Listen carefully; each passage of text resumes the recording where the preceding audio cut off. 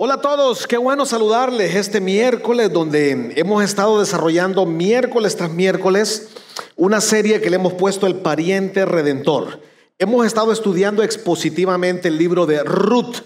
De verdad que ha sido emocionante aprender de la providencia de Dios. Primer fin de semana estuvimos hablando de la tragedia de cómo un hombre llamado Elimelech se mueve a un lugar llamado Moab tiene que tomar decisiones bastante fuertes que implican la muerte de él, implican la muerte de sus dos hijos y eso provoca simplemente qué tragedia, que tres mujeres queden sin sus tres parejas a la intemperie y tienen que lidiar con una situación muy pero muy difícil. Capítulo 2 estuvimos hablando de cómo Dios empieza a a trabajar en la vida de esta mujer llamada Noemí a través de su nuera llamada Ruth y comenzamos a ver la providencia de Dios. Cómo la dinámica de Dios hace que ella vaya a los campos de gracia, se encuentre con un hombre llamado Vos, de un gran carácter, y posteriormente empieza la novela el romance entre ellos, pero realmente es la dinámica divina de cómo Dios puede hacer cosas. En el capítulo 3, cómo ellos se encuentran, y hoy vamos a hablar cómo esa tragedia termina en un momento feliz. Cómo Dios puede hacer de una tragedia, cómo Dios puede hacer de una situación difícil, hacer algo de lo natural, algo sobrenatural. Así que quiero que vayamos rápidamente entonces al libro de Ruth capítulo 4. Hoy, hoy aprenderemos acerca de eso. El último capítulo de la serie y el último capítulo del libro. Así que Vamos conmigo al libro de Ruth capítulo 4 y antes de eso eh, vamos a decirle a Dios, Dios, enséñanos este último miércoles porque posteriormente el próximo miércoles tendremos una noche de adoración, un tiempo con reconocimiento de líderes y posteriormente empezamos con una serie buenísima que tiene que ver con calvinismo, cómo nosotros podemos ser capacitados y entrenados. Acompáñenme a orar. Señor, estamos aquí esta noche, Dios, animados porque estamos reunidos como familia en coinonía, en dependencia tuya para que tú nos enseñes, para que tú nos hables a través de tu palabra. Te lo agradecemos. Inspíranos, instruyenos, enséñanos. En el nombre de Cristo te lo pedimos. Amén. Ok, capítulo 4 del libro de Ruth dice lo siguiente, vos subió a la puerta y se sentó allí. Y he aquí pasaba aquel pariente a quien vos había hablado y le dijo, eh fulano, ven acá y siéntate. Y él vino y se sentó. Eh, es bien determinante lo que va a ocurrir en el capítulo 4 porque simplemente vos se da cuenta que Dios está tratando con su vida de que pueda redimir la vida de estas dos mujeres, de Noemí y de Ruth. Pero él sabe que en la dinámica, en la tradición y en lo que Dios pide, hay otro hombre antes que él. Y cuando la Biblia nos enseña en el, verso 1 acerca de esas puertas, simplemente es, aprenderemos algunas cosas. En esa puerta era donde los ancianos se sentaban y casi que eran los tribunales legales. Ahí se dictaban sentencias legales en esas puertas de la ciudad. Fue en esa puerta donde se discutieron los planes civiles, lo que iba a ser, las situaciones difíciles de las personas que vivían en las ciudades. Y lo que se decidió en esa puerta fue la última palabra. ¿Por qué digo esto de la puerta? Porque hay un pasaje en la Biblia, en los Evangelios y en el Nuevo Testamento, donde el mismo Jesús dice que las puertas del Hades, recuerdan eso, las puertas del Hades no prevalecerán contra su iglesia. Las puertas del Hades es, en esas puertas, la figura que usaba Jesús es, en esas tradiciones del Antiguo Testamento, en esas puertas donde se, planeaban cosas, en esas puertas donde se tramaban cosas, se resolvían cosas, y esa es la asociación. O sea que era un lugar muy importante donde vos eligió lo que iba a suceder. Versículo 2. Entonces él tomó a diez varones de los ancianos de la ciudad y les dijo, sentaos aquí. Y ellos se sentaron. Luego el pariente, Noemí, que ha vuelto del campo de Moab, vende una parte de las tierras que estuvo nuestro hermano Elimelech. ¿Se acuerdan que Elimelech significa Dios es rey? Y yo decidí hacértelo saber y decirte que la compres en presencia de los que están aquí sentados, en otras palabras, por un grupo de testigos y de los ancianos de mi pueblo. Si tú quieres redimir, redime. Y si no quieres redimir, decláramelo para que yo lo sepa. Porque no hay otro que redima sino tú y después de ti, obviamente él. Y él respondió, yo redimiré. En verdad, Lo que está pasando es que vos pudo haber manipulado. Vos pudo haber dicho, yo voy a hacer todo lo que se tenga que hacer para quedarme con esta muchacha, para quedarme con Noemí y todo lo demás. Pero vos decide decir, bueno, si este hombre se adelanta y se queda con ella, ni modo. Ya vos está enamorado de esa muchacha. Ya vos está encantado, hay un romance, ya hay una atracción, ya vos ha comprobado que, que, Ruth es la mujer. Pero entonces vos nos enseña algunas cosas. En primer lugar, que siempre hay que hacer lo correcto. Siempre hay que hacer lo correcto. Otra de las cosas que nos enseña vos es aprender a ser paciente en aquellas decisiones, aun cuando decimos, Dios, tú ya la diste, aquí está, viene de ti, esto es de ti. Hay que ser pacientes. Pero también, aparte de ser paciente, vos nos enseña que hay que ser audaz. Porque en la negociación vos le suelta primero todas las buenas noticias y le dice, tú eres el hombre de verdad, Tú eres el que puedes redimir. Si tú redimes, yo estaré tranquilo. Así que vos es audaz, le dice, cómprala, compra esa tierra, redime, pero no la compres a la vez. Ya lo, ya lo veremos por qué. Bueno, tú eres el siguiente en la fila, casi le que le está diciendo, tú eres el siguiente en la fila, así que si la quieres, llévatela, debes seguir adelante y tú cómprala. Miren lo que dice el verso 5. Entonces replicó vos, ya el hombre le dijo, está bien, yo me quedo con Ruth me quedo con Noemí, yo compro esa tierra. Entonces replicó vos, el mismo día que compres las tierras de mano de Noemí, le dice, te voy a contar todo el paquete que incluye. Debes tomar también a Ruth, la moabita. Era una mujer extranjera, era una mujer gentil, era una mujer rechazada. Recuerdan que hablamos en las conferencias anteriores. De verdad no era la más digna. Mujer del difunto, le dice, para que restaures el nombre del muerto sobre su posesión. Entonces, cuando este hombre escucha eso, él respondió el pariente, no, no, no puedo, no, no puedo redimir para mí eso, no sea que dañe mi heredad. En verdad, era piadoso lo que le iba a hacer, pero dice, esto es demasiado para mí.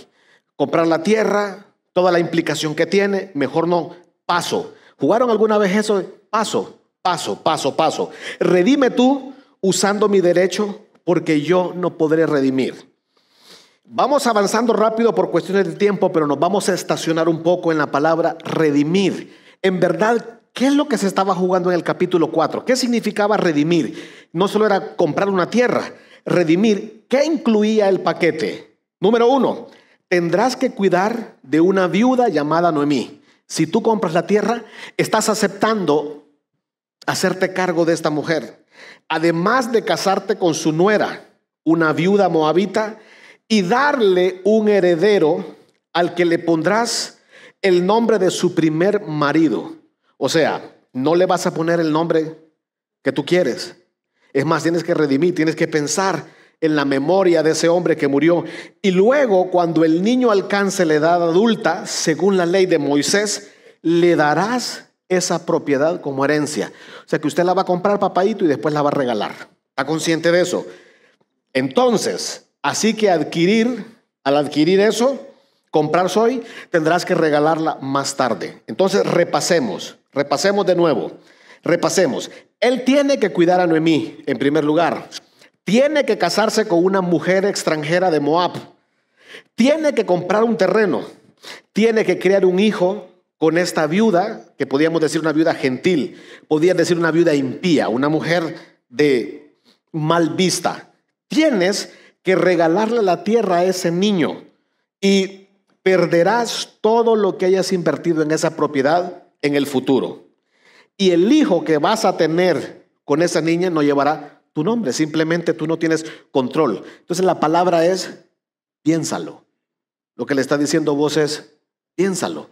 ¿Aceptas ese paquete o no? ¿Qué tan espiritual eres para que aceptes ese paquete o no?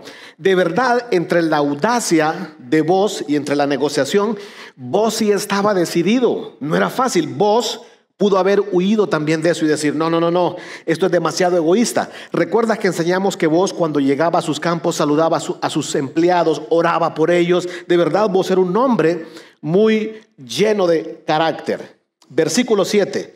Había ya desde hace un tiempo esta costumbre en Israel tocante a la redención y al contrato para que la confirmación de cualquier negocio, el uno se quitaba el zapato y lo daba a su compañero y esto servía de testimonio en Israel. Es como que le digan a ustedes, quítese el zapato y déselo al hermano que está a la par. Unos dirían, no, no, no podemos hacer eso ahorita. Trabajé todo el día y no, no, no, no, no. Como que les dijéramos, hermanos, hoy vamos a lavar los pies unos a otros. Por favor, quítense los pies, quítense los, zapatos, por favor. Quítense los zapatos. ¿Se imaginan eso? Y se quitaban el zapato el uno al otro, te lo intercambio, el tenis o el zapato, lo que andaban. En ese tiempo no había tanta tecnología como los zapatos que se usan hoy. Y esto servía como testimonio en Israel. Esos dos zapatos, imagínense. Se dice también que eso era el poder de la palabra. De más que un zapato era el poder de la palabra. El poder de tu sí sea sí, el poder de tu no sea no. Entonces el pariente dijo a vos, tómalo tú. Y se quitó el zapato. Y vos se lo dio a los ancianos y todo el pueblo, y todo el pueblo, y a todo el pueblo, vosotros sois testigos hoy que he adquirido de la mano de Noemí. He adquirido la mano de Noemí. ¿Recuerdan cómo se llamaba Noemí? Noemí se llamaba amable, dulce y agradable. En ese momento vos estaba diciendo, a partir de hoy, se viene conmigo amable, dulce y agradable. A partir de hoy se viene una mujer amable, dulce y agradable. Recuerden, esta mujer estuvo en amargura. Dios trabajó en el capítulo 2, en el capítulo 3 en su amargura. Dios trabajó en su, en su vida, en su conciencia acerca de Dios. Y dice, hoy se va Noemí conmigo. Y todo lo que fue de Limelec y todo lo que fue de Dios es rey. Dios es rey conmigo. Eso es lo que está diciendo eh, este hombre llamado Vos. Y todo lo que fue de Kelión y todo lo que fue de Malión. Y también tomó por mujer a Ruth la moabita. ¿Tomó a quién? Ruth se llama Consuelo. A partir de ese momento dice que toma Consuelo y se la lleva a su casa. O sea, este hombre iba a estar bien consolado, iba a tener un clima amable y agradable en la casa. La mujer de Malón. Entonces nos está recordando que básicamente vos estaba diciéndole a esa mujer, yo sé que tu esposo se llamaba débil. ¿Se acuerdan? La esposa, el esposo de Ruth se llamaba débil. Significaba débil, endeble se está llevando a todo ese grupo, a todo ese contexto, se lo está llevando para su casa, todo ese paquete se lo está llevando para restaurar el nombre del difunto sobre su heredad, lo que está haciendo vos. Realmente vos representa una figura divina, para nosotros también una gran enseñanza. Restaurar el nombre del difunto sobre la heredad para que el nombre del muerto no se borre entre sus hermanos y de la puerta de su lugar. Vosotros sois testigos hoy. En el Antiguo Testamento, los zapatos y los pies simbolizaban propiedad y posesión. Simplemente, esa figura de quitarse el zapato, si vamos a Salmos capítulo 8, versículo 6, dice, tú, oh Dios, pusiste todas las cosas debajo de tus pies. Eso dice el Salmo 8, versículo 6. Si vamos a Deuteronomio capítulo 11, versículo 24, dice, el Señor Dios el Señor le dijo al pueblo de Israel, donde quiera que pisare la planta de tus pies, de tu pie, le será dada herencia. ¿Recuerdan cuando Moisés está siendo reclutado por Dios? Aparece en una zarza, le va a decir que él es el libertador y le dice Moisés, quita las sandalias de tus pies, porque este lugar es santo, no es tuyo, me corresponde a mí. Por favor, quiero que tengas conciencia de eso. Y, los pies representan las decisiones, si saben ustedes, representan las decisiones que nosotros tomamos. La transferencia de las sandalias indicó esa transferencia de poder. El uno le estaba ejerciendo el poder al otro, literalmente estaba diciendo, vos puedes caminar con mis sandalias. Te estoy dando la autorización limpiamente que puedas navegar y avanzar en ese terreno, el terreno de la redención. Vamos al versículo 11. Y dijeron todos los del pueblo que estaban a la puerta con los ancianos, testigos somos. O sea, no solo es que están coreando, en verdad ellos estaban siendo edificados, ellos estaban siendo animados, estaban siendo inspirados de un hombre de la talla de voz. Y dijeron, todos los pueblos, testigos somos, Jehová haga a la mujer que entre en tu casa como Raquel y a Lea y ahí empezamos a conectar todas las bendiciones que hay desde que el Noemí bendice a Orfa. ¿Se acuerdan? Orfa desaparece del mapa divino, Pero Noemí ora por ellas y hay un par de bendiciones y aquí comienzan otras bendiciones, las cuales edificaron la casa de Israel. Y tú seas ilustre en Efrata y seas de renombre en Belén. Lo que le están diciendo es vos que tu nombre impacte una y otra y otra y otra vez. Qué maravilloso sería eso, que tu nombre impacte una y otra y otra vez, que seas de renombre en Belén y sea tu casa como la casa de Fares, el que Tamar dio a luz a Judá por la descendencia que ese joven te da a Jehová. Es interesante, es interesante, porque vos en la Biblia representa honor, representa integridad, representa influencia, representa un carácter piadoso. Pero ahí está ampliando un poco más la vida de vos. Le dicen vos que seas ilustre, que seas un parámetro de vida, que la gente pueda, pueda ver tu vida, pueda escuchar tu testimonio y pueda impactar. Entonces es bien interesante que vos también aparece en Primera de Reyes, capítulo 7, 20, 21. Pueden leer todo el capítulo 7 y se van a dar cuenta que cuando Salomón tiempo después está haciendo el pórtico, hay dos columnas. Y en una de esas columnas, en este pasaje, aparece el nombre de voz y se amplía un poquito más voz. Una de las columnas se llama Jaquín, está a la derecha, que significa Él establecerá. Y la otra, a la izquierda, se va a llamar voz, ahí está, en esa columna, voz en la fuerza, significa en la fuerza. Lo que significaba es que por años personas iban a entrar y salir, iban a entrar y salir, y cada vez que entraban y salían, miraban en una de las columnas el nombre de voz. No solo el nombre, sino un recordatorio de una columna. Tú puedes volverte una columna, una persona importante, una persona de impacto, una persona que sostiene, que hace la diferencia en una sociedad. En otras palabras, las decisiones piadosas trascienden profundamente. Guarda eso. Toda decisión piadosa que tú haces hoy simplemente va a trascender, va a trascender profunda y profundamente. Vamos al versículo 13. El versículo 13 dice lo siguiente. Vos tomó a Ruth, tomó consuelo. Ahí empieza la bendición casi al final de la historia. Vos tomó a Ruth Vos tomó consuelo. Parte de la decisión difícil que él estaba tomando, guiada por Dios, es tomó consuelo y ella fue su mujer y se llegó a ella, hablando de tener relaciones. Y Jehová le dio que concebiese y diese a luz un hijo. Y las mujeres decían a Noemí, loado sea Jehová. Loado, ¿qué significa esa palabra loado? elogiar, enaltecer, aclamar, alabar a Dios. Grupo de mujeres estaban diciendo, miraban a Noemí, miraban a Ruth, miraban a este hombre y decían, loado sea Jehová, que tus decisiones, que tu testimonio, que tu conducta provoque eso en las personas. Loado sea Jehová, que hizo que no faltase hoy pariente. En las sociedades se necesitan parientes redentores. En las sociedades hacen falta que entremos nosotros en la dinámica de la bondad, en la, dinámica de simplemente entrar en la escena y redimir situaciones, redimir momentos, redimir circunstancias. No faltase hoy un pariente. ¿Qué hubiera pasado si hubiera faltado un pariente? Había faltado el primero. Primero renunció y dijo, no, no le entro a eso. Y por eso están alabando a Dios, cuyo nombre será celebrado en Israel. Hay una promesa.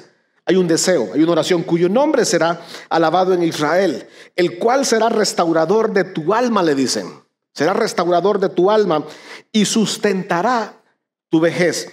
Ahí Noemí está cosechando bendiciones, recuerdan, tuvo que tomar una decisión es dejar el lugar incorrecto y volver al lugar correcto. ¿Recuerdan? Dejar Moab, el lugar sucio, y volver a la casa de pan. Eso era difícil, pero había que tomar esa decisión. Para tomar el lugar correcto hay que dejar el lugar incorrecto. Y allí está Noemí. Más tiempo adelante, tiempo después se está cosechando, el cual será restaurador de tu alma y sustentará tu vejez. Pues tu nuera que te ama, le dice. Tu nuera que te ama. Hay un gran mensaje para las suegras, hay un gran mensaje para las nueras. Hay una teología ahí, hay una teología importante.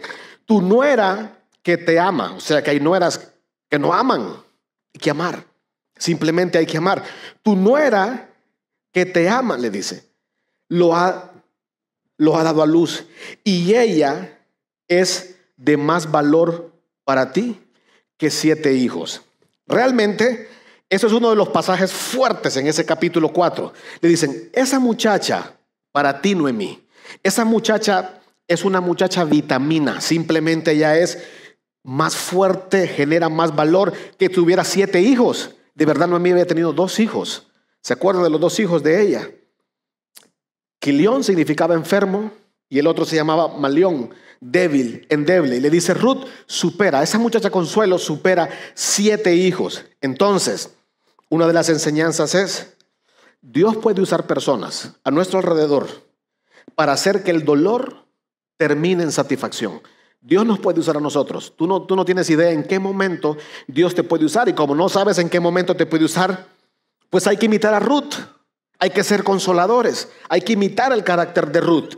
Ruth nos desafía a ser personas consoladoras, simplemente ella vivió para vivir el ministerio del consuelo. Ella vivía para consolar a otras personas, pero también nos enseña la Biblia que esta mujer llamada Noemí, la, ustedes la leen en el capítulo 1 y capítulo 2, está diciendo cosas fuera de lugar. Está diciéndole a sus nueras que vuelvan a la idolatría. Está gobernada por las emociones, por el dolor difícil. Pero Dios en el capítulo 4 le está diciendo a través de personas, serás una abuela vigorizada. Tú serás una abuela vigorizada. No solo ahora tienes a una nuera que vale por 10 hijos, tendrás un nieto, serás una enfermera serás una tutora y serás una cuidadora. Esto es un buen mensaje para las abuelas. Todas aquellas que son abuelas o van a ser abuelas pueden imitar a Noemí siendo enfermeras, siendo tutoras y siendo cuidadoras. En el versículo 16 dice, y tomando Noemí el hijo, lo puso en su regazo. Imagínense eso. Por cuestiones de tiempo, un, llanto, escuchar el llanto, nació el niño, la foto, celebrarlo, y la primera vez de ella ponerlo en su regazo. Y fue su haya. Impacto eso. Y dieron nombres las vecinas. Ojo, dieron nombre las vecinas. Ni Noemí, ni dieron un nombre las vecinas diciendo, le ha nacido un hijo a Noemí. Y lo llamaron Obed este es el padre nada más y nada menos que de Isaí, padre de David. Eso nos lo dice el verso 16. Simplemente. Entonces, ¿qué fue lo que ocurrió? Lo que ocurrió es que le dan la potestad, vos y Ruth, le dan la potestad a Noemí de ser la tutora, de ser la tutora de ese niño. Aquí vienen otras enseñanzas.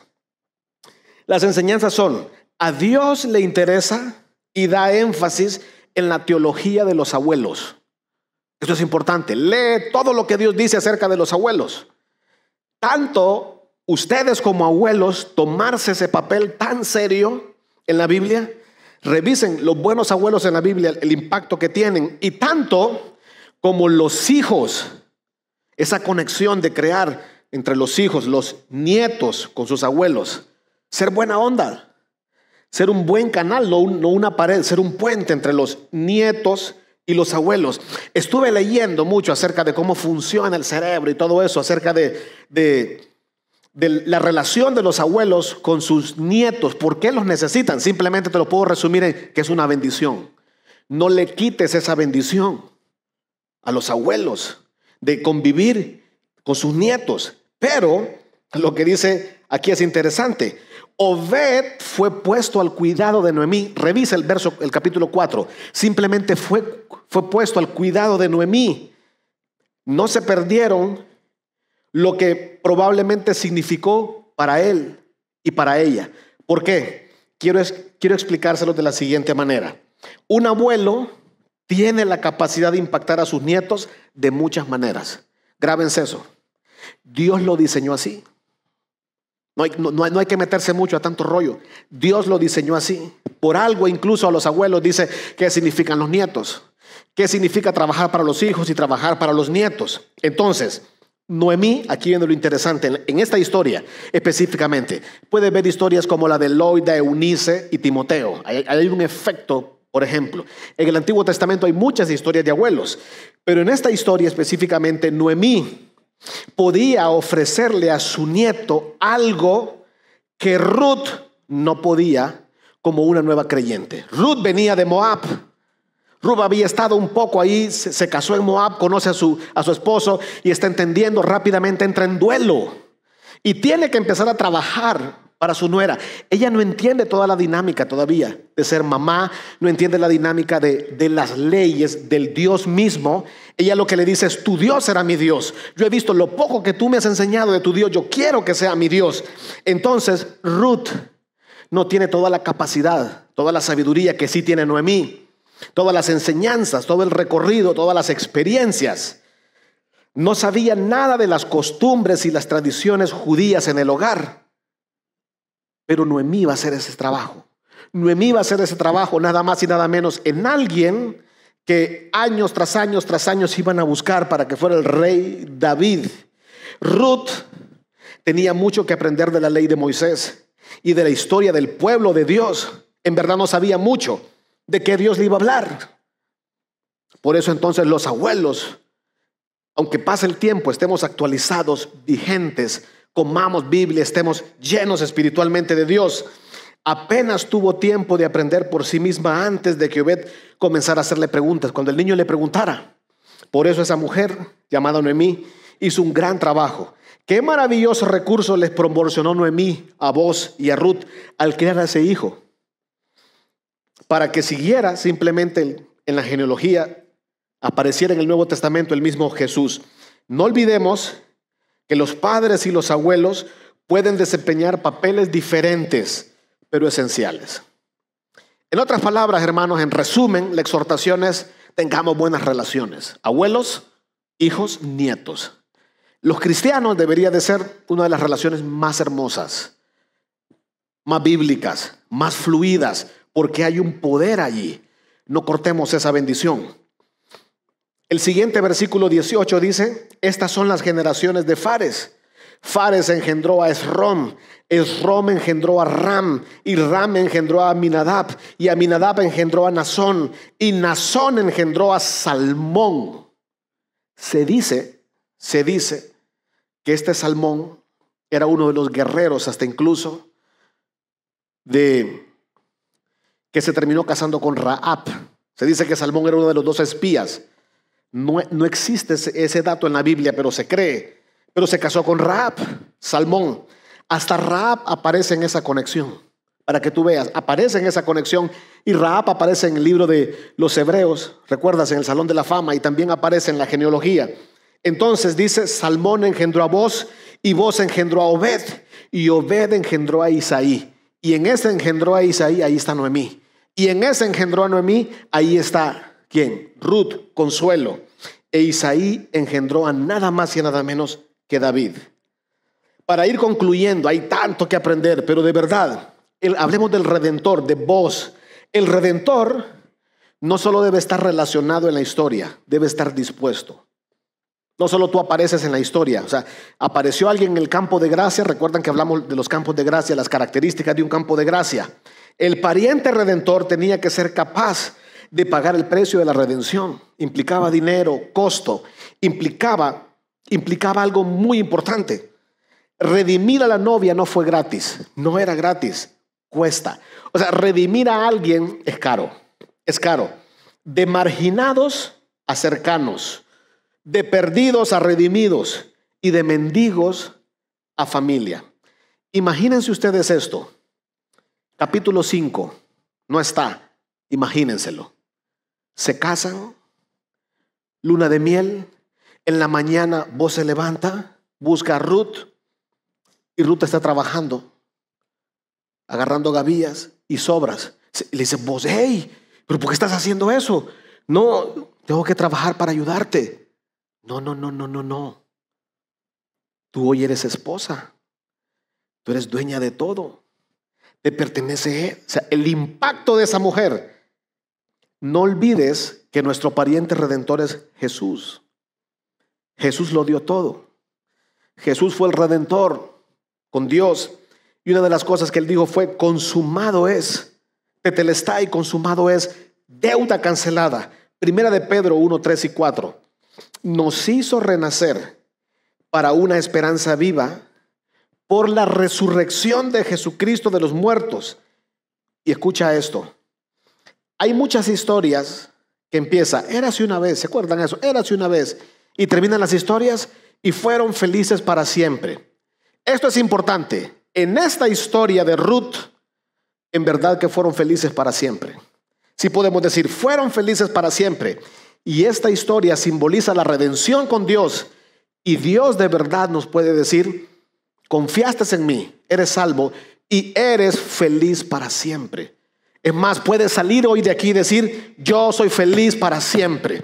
He aceptado a Jesús, soy feliz para siempre. Y eso es lo que dice la Biblia, para una herencia incorruptible, una herencia incontaminada, una herencia inmarcesible, reservada en los cielos para vosotros. Hay más después de aquí, hay más después de aquí, porque Jesús y Dios mismo nos dan ese vehículo donde podemos decir y fuimos y seremos felices para siempre. ¿Qué les parece si oramos a Dios? Señor, te agradecemos esta noche por tu palabra.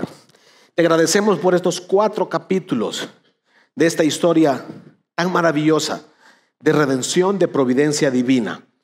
De verdad, Dios, ayúdanos a aprender de Limelec, ayúdanos a aprender de vos, ayúdanos a aprender de Noemí, ayúdanos a aprender de Ruth, de Orfa, de Malión, de Quilión.